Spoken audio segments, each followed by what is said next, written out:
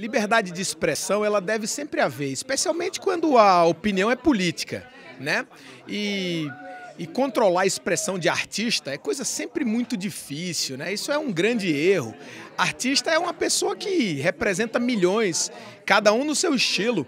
Um representa alguns, outros representam outros, de maneira que eu acho que não deve é, reprimir expressão de artista, como não deve reprimir é, expressão de atleta.